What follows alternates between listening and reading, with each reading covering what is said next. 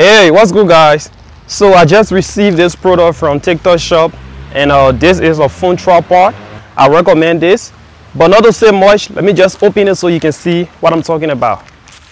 This is beautiful, you know, and then you turn this around to loosen the tripod less.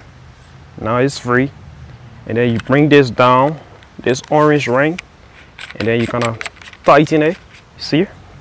So let's set it down to the floor or to the ground and then you see what I'm talking about.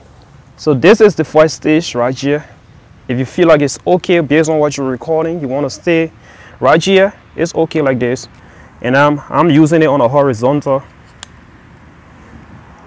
Look at that. See how perfect and how stable it is. And now if you want to take it a little bit, you can stop it around here based on what you want. It's just based on your own desire. Look at this. You see? Woo! See what I'm talking about? See the level? And I tell you what, we can still pull it up, man.